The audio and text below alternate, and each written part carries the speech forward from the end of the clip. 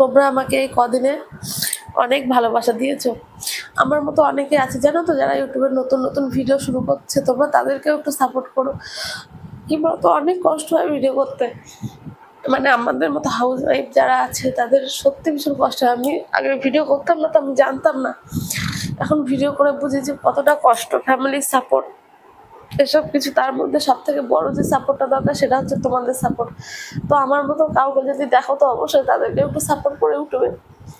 কারণ সকলে অনেক আশা নিয়ে, স্বপ্ন নিয়ে ইউটিউবে একটা চ্যানেল খোলে। তাদেরকে একটু সাপোর্ট করো। টাটা। আর হয়তো দেখা হবে না। Hello friends good morning and welcome back to my channel কেমন আছো তোমরা সবাই? আশা করছি সকলে খুব ভালো আছো আর আমিও ভীষণ ভালো আছি। তো তোমাদের অনেক অনেক অনেক ভালোবাসায় আমি অনেকটা ভালো আছি এখন। আর এখন দেখো রেডি হয়ে গেছি পুরো। তো রেডি হয়ে আজকে চলে মানে আজকে যাব আমার মাসির বাড়িতে। তো তার জন্য সকালবেলা উঠে মানে প্রচুর কাজ বাজ করেছি, তো সেগুলো তোমাদের সঙ্গে শেয়ার করিনি, কারণ প্রচুর ব্যস্ত ছিলাম আমি। আর এদিকে দেখো, আ করতে করতে চলে এসছে। ওই যে মাই আর অর্ক ওদেরকেও রেডি করিয়ে দিয়েছি, ওরা একটু আছে, ওদিকে খেলা করছে। তো আমি ভাবলাম, চলো আমি ভিডিওটা স্টার্ট করে দিই। তো এখন ঘড়িতে বাজে প্রায় এগারোটা বাজতে যায়, তো আমার তো রেডি হওয়া তো সকালবেলা ঘুম থেকে উঠে বাড়ির সমস্ত কাজ বাজ করে নিয়েছি রান্না বান্না সবই করেছি, তারপরে এখন বেরাবো। তো যেখানে যা বাড়ির কাজকর্ম তো করে যেতেই হবে, সেটা মানে আর কোনো বলার নেই।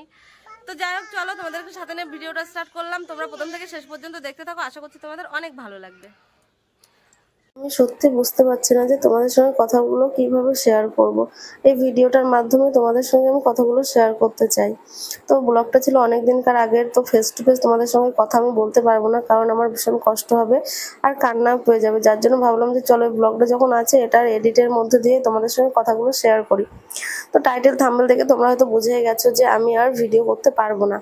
কারণ ফ্যামিলির সাপোর্টটা যদি না থাকে, তাহলে কীভাবে ভিডিও করব বলো? তো আমার হাজব্যান্ডের কথা হচ্ছে, আমি আমার বাচ্চা কাচ্চাকে না দেখে, সংসার না দেখে আমি সারাদিন শুধু ভিডিও করছি। ওদেরকে সময় দিচ্ছি না। তো সত্যি কথা বলতে কি জানো তো, আমার বাচ্চা কাচ্চাকে আমি মানে আমি একা হাতেই সময় দিই। ওদেরকে কিন্তু কেউ সেরকম নেয় না। আর তার সঙ্গে তো বাড়ির কাজকর্ম আছে। তার মধ্যে দিয়েও আমার ভালো লাগতো ভিডিও করে তোমাদের কাছে সবকিছু শেয়ার করতে।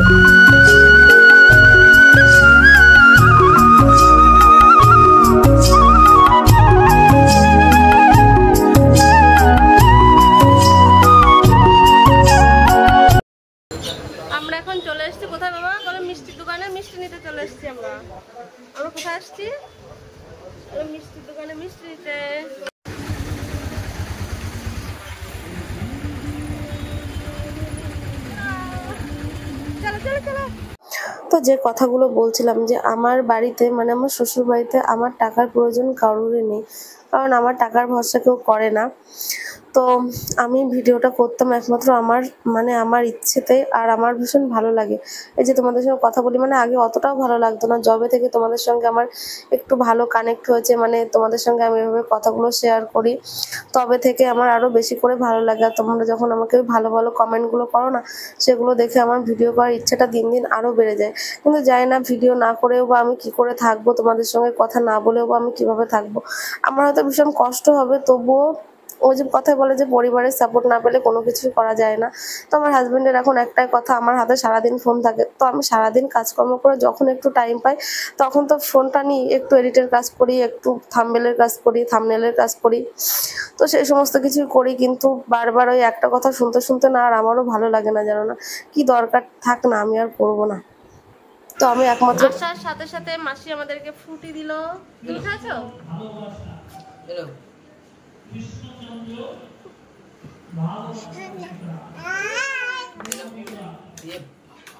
ঠান্ডা ভীষণ হুম, হুম। নে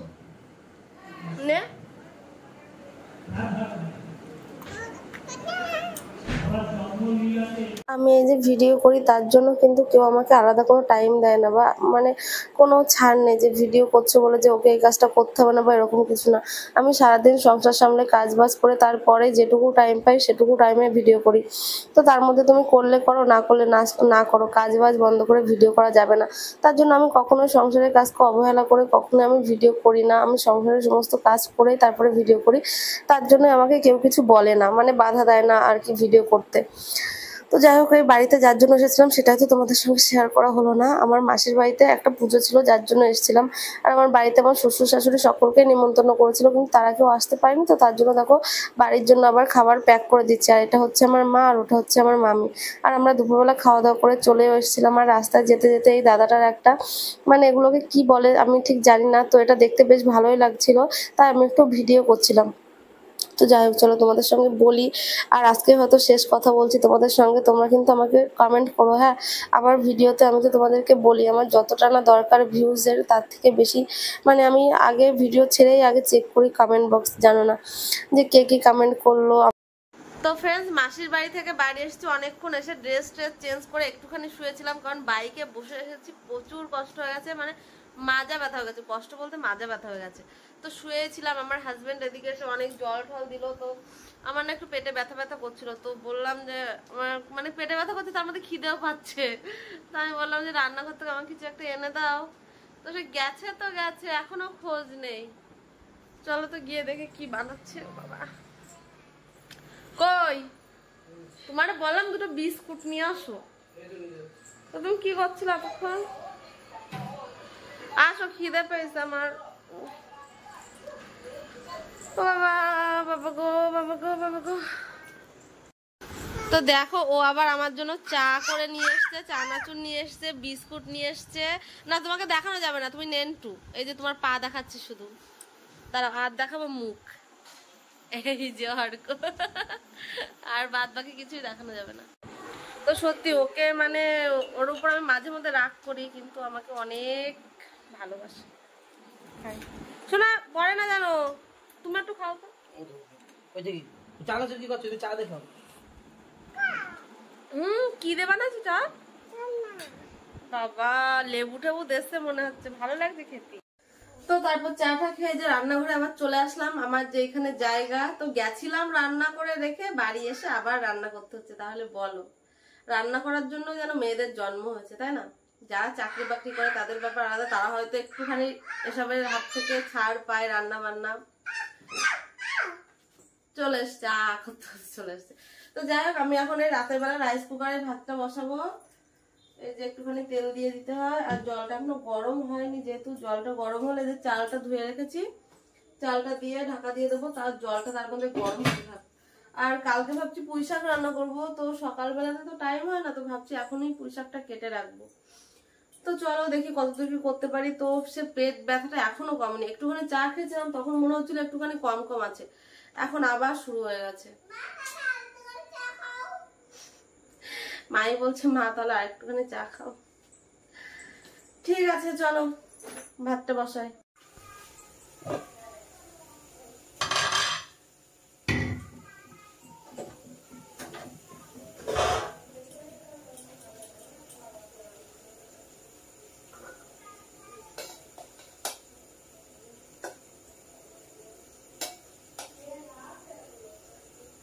চলো, আজকে শেষবারের মতো তোমাদের দু একটা নাম নিয়ে নিই। আগের ব্লগে আমি বলেছিলাম যে হলো, তোমরা কে কোথা থেকে ভিডিওটা দেখছ অবশ্যই কিন্তু জানিও। তো তোমরা অনেকেই কমেন্টে বলেছ, কত জায়গার নাম বলেছ। তো সত্যি আমার একটা কথাতে যে তোমরা মানে কি বলব আমি না, কথা বলার ভাষায় যেন হারিয়ে ফেলি। তো যাই হোক, চলো। তাড়াতাড়ি তোমাদের কিছু কমেন্টের উত্তর দেওয়ার। আজকে দেখো ভিডিওটাও কত ছোট। তোমাদের সঙ্গে যে একটু ভালো করে কথা বলব, সেটারও সময় পেলাম না। তো লিখেছে, দিদি, আমি তোমাকে এতবার করে বললাম, তুমি আমার নাম নাও, তুমি নিলে না। তো নেহা, তার বোন আমার ভিডিও দেখে তো তোমাকে অনেক ধন্যবাদ বোন তুমি আমার ভিডিও দেখো। আর একটা নাম আছে, তুমি আমার নামটা নাও না, আমার নাম রিম্পা। তো রিম্পা বোন, তোমাকে অনেক ধন্যবাদ। কাল থেকে আর কি করে বলবে বলো যে, আমার নাম নাও, আমার নাম নাও? আর এই কথাগুলো আমি ভীষণভাবে মিস করব, জানো তো? তোমরা যে আমাকে এতটা ভালোবাসো, সেটা দেখে আমার এত ভালো লাগে। আর তোমাদেরকে যে বলেছিলাম যে কে কোথা থেকে ভিডিও দেখো, সেগুলো বলবে। তোমরা কত জায়গার নাম বলেছে। দেখো, আজকের ভিডিওটা এতটাই ছোট যে নামগুলো আমি মানে এখন বলে আর শেষ করতে পারব না। তো কেউ লিখেছে গোবরডাঙ্গা ইছাপুর থেকে, কেউ লিখেছে শান্তিপুর থেকে, কেউ লিখেছে কেরালা থেকে। মানে কত জায়গার নাম যেখানে আছে। আর হ্যাঁ তোমরা ঈদটা কেমন কাটালে সেটা কিন্তু অবশ্যই কমেন্টে আমাকে একটু জানিও। তো আর আজকে বলতে পারব না যে নেক্সট ব্লগে তোমাদের সঙ্গে দেখা হবে। আর একজন লিখেছে, আমি বগুলা থেকে দেখছি। তো ভিডিও শেষ হয়ে গেল, কিন্তু কথা শেষ হলো না, তাই আবার তোমাদের সঙ্গে একটু কথা বলতে আসলো তো কালকে থেকে আর তোমাদের সঙ্গে হয়তো কথা হবে না, দেখাও হবে না। তো তোমরা সবাই ভালো থেকো, আর তোমরা যে এই কতটা দিনে আমাকে এতটা ভালোবাসা দিয়েছ তার জন্য আমি অনেক খুশি। আমার ভিডিওটা কিন্তু এডিট মানে শেষ হয়ে গেছিল, তাও ভাবলাম যে তোমাদের সঙ্গে আরেকটুখানি কথা বলি। আর তো বলতে পারব না। তো এখন রাত সাড়ে দশটা বাজে মাই অর্ক সকলেই ঘুমিয়ে গেছে। আর আমার এই জাস্ট এডিটটা শেষ হলো। আজকে ছোট ভিডিও তো, যার জন্য বেশিক্ষণ আর এডিট করলাম না। আর মানে এভাবে তোমাদের সঙ্গে সামনাসামনি আমি কথা বলতে পারব না। যার জন্য কিন্তু আমি ওই ভিডিওটার মাধ্যমে তোমাদের সঙ্গে কথা বললাম। আমি মাসির বাড়িতে গেছিলাম, সেই ব্লগটা ছিল, তো ভাবলাম চলো, সামনাসামনি কথা বলতে গেলে অনেক কষ্ট হবে আমার। তো যার জন্য ভিডিওর মধ্যে কথাটা বললাম। তো তোমরা সকলে ভালো থেকো। আর আর কাউকে সাপোর্ট করতে হবে না। আর কেউ বলবেও না যে সাপোর্ট করো। বস্তু ভালো থেকো তোমরা সবাই। টাটা। আর দেখা হবে না।